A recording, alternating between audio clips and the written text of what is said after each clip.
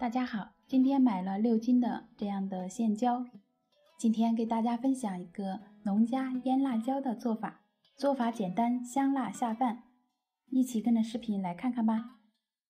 先把辣椒放进一个大盆里，里边有虫眼的一定要提前挑出来，然后向里面放入一勺小苏打，再接上足够的清水。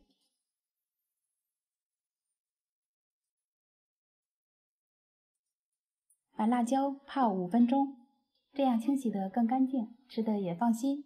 然后再多冲洗几遍，清洗到水也变清澈了，再控水捞出来。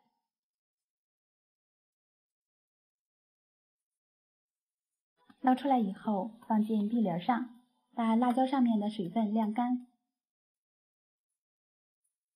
里面再加入一把小米椒，准备一块生姜。和一把大蒜，把生姜和大蒜也清洗干净，在篦帘上晾干水分。现在准备料汁，锅里面倒入八百克清水，八百克生抽，五十克冰糖，六十克食盐。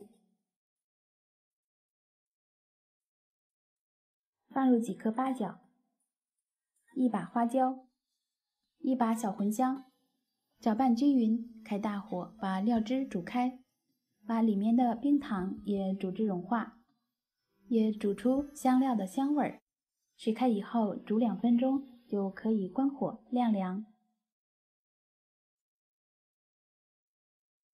辣椒晾干以后，把辣椒蒂去掉。然后放在案板上，在这里给大家说一下，案板一定要干净无水迹，所有的器具都不要有生水的水迹，这样更容易保存。切好以后放进干净的容器里，盆里面一定不要有生水。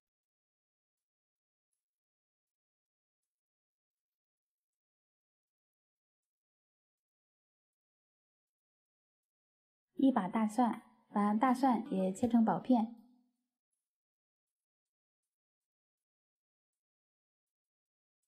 生姜也切成薄片，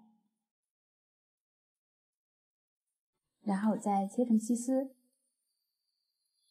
切好放进辣椒盆里。料汁晾凉以后，把里面的干料都捞出来，这样吃的时候不影响口感。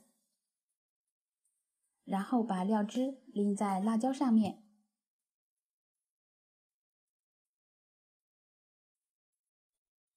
然后再搅拌均匀，腌制两个小时就可以吃了。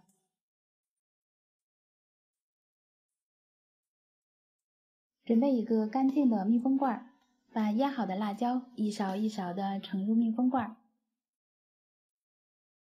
腌制好的辣椒可以直接吃。也可以炒鸡蛋，也可以炒肉，这样的辣椒也有很多种吃法，做出来香辣入味，好吃又下饭。倒进来的料汁一定要没过辣椒，封口处再淋上高度白酒，这样保存的时间会更久。盖上盖子密封起来就行了。这样如果吃不完，保存一年也不坏。如果你也喜欢吃辣椒，喜欢我今天的分享，就收藏起来试试吧。可以用您发财的小手给我点赞、转发一下，谢谢您的支持。我们下一个视频再见。